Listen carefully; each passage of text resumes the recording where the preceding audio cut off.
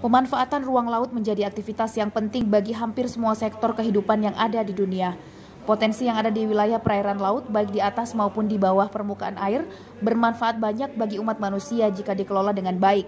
Namun demikian, aktivitas tersebut menjadi krusial karena dapat menentukan keberlanjutan ekosistem yang ada di laut dan pesisirnya. Tanpa ada pengelolaan yang baik dan tepat, maka pemanfaatan ruang laut hanya akan menghancurkan segala potensi yang ada di dalamnya. Untuk itu penataan mutlak harus dilakukan agar pemanfaatan ruang laut bisa memberikan manfaat sebanyak-banyaknya untuk sektor kehidupan yang memerlukannya, termasuk bagi sektor ekonomi nasional yang juga bergantung pada pemanfaatan ruang laut. Sosialisasi pemanfaatan dan pengendalian pemanfaatan ruang laut yang diinisiasi oleh Dinas Kelautan dan Perikanan ini menjadi wujud dari pentingnya bagi pihak-pihak terkait, termasuk pengusaha di dalamnya. Mengerti prinsip pemanfaatan ruang laut yang efektif, Kepala Dinas Kelautan dan Perikanan Provinsi Kepulauan Bangka Belitung Agus Suryadi mengapresiasi kehadiran para pengusaha dalam sosialisasi ini. Ia mengatakan sektor ekonomi sangat tergantung pada pemanfaatan ruang laut karena ada jaringan pipa dan kabel bawah laut yang penting untuk memasok kebutuhan digital terkini. Kalaupun ada teman koordinasi silakan koordinasi.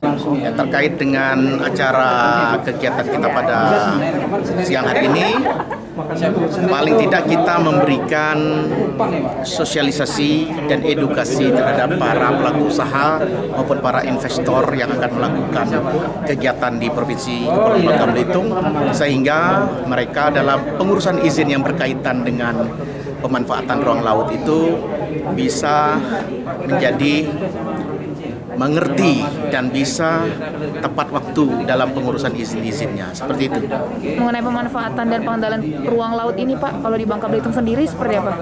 Ya artinya sampai saat ini eh, masih baik. Artinya kita termasuk di Indonesia ini kita yang uh, banyak mengeluarkan perizinan ini. Dan kalau di masa lalu ILP namanya ada sekitar 28 perizinan dan saat ini juga kita sekitar 30 lebih. Tetapi dikarenakan memang perizinan ini ada prosesnya karena langsung ditangani oleh Kementerian Kelautan dan Perikanan memang memerlukan waktu bagi para pelaku usaha. Ia menambahkan selain untuk teknologi, jaringan pipa dan kabel bawah laut juga difungsikan untuk mengalirkan kebutuhan ekonomi yang jumlahnya sangat banyak.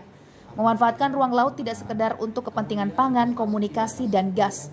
Hal yang mendahului itu semua adalah penataan yang bijak, regulasi yang baik, agar pemanfaatan bisa saling menguntungkan dan tidak tumpang tindih. Dari Pangkal Pinang, Solina Lumbanto Ruan TVRI Bangka Belitung melaporkan.